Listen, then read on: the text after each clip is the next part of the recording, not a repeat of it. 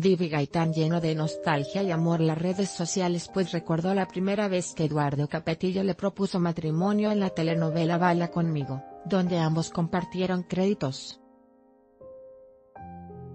En el video se puede ver cómo la exactriz le contesta al padre de sus hijos que sí se casaría con él, pues con más de 20 años de casados dejó en claro que ese será el amor de su vida. La primera vez que me propuso matrimonio. Siempre te voy a decir que sí.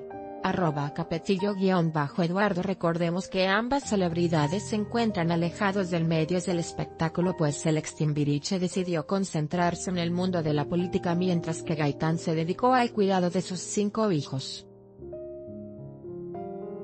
Una bella pareja.